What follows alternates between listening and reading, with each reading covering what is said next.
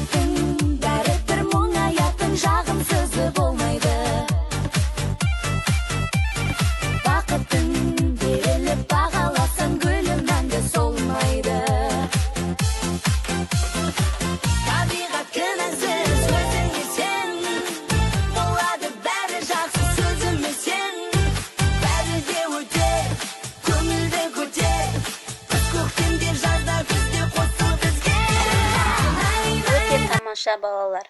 Бүгінгі сабағымыздың тақырыбы пайдалы азық түлік. Есептер мен мысалдар шығарамын. Бірінші тапсырма. Асханада түскі асқа суреттің тұсында көрсетілген сан қанша болса сонша тағам сатылды. Сурет бойынша жазу құрастырып жауабын жапсыр. Өз мысалдарыңды ойластыр. Екінші тапсырмаға көшейік. Қаламмен бастырып жаз. Жеті санын қаламмен бастырып жазыңыздар. Үшінші тапсырма қандай екі санынан? Жеті санын құруға болады. Қалай ойлайсыңдар? Алтыға неше қоссақ жеті болады?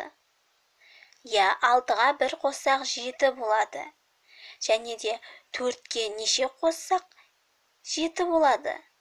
Ойлаңдаршы балалар. Төртке неше қоссақ жеті болады?